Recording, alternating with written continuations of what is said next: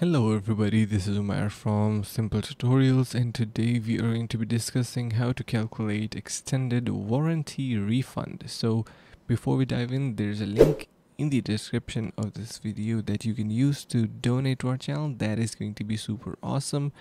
Make sure you give it a try and leave us a tip.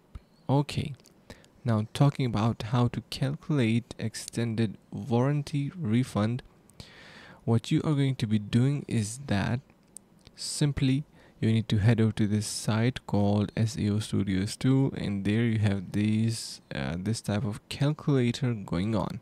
Now you need to enter your values in here like for example we have three different options or fields to fill. The first one is original price.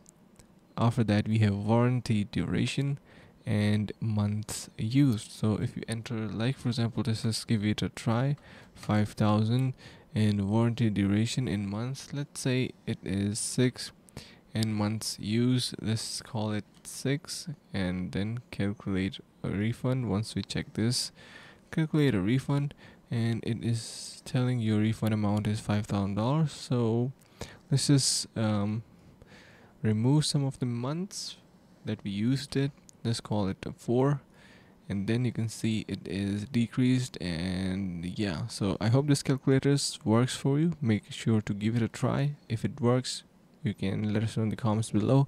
And yeah i hope this helped. If it does you can head over to the link in the description to simply donate to our channel. Thank you so much for watching and see you in the next video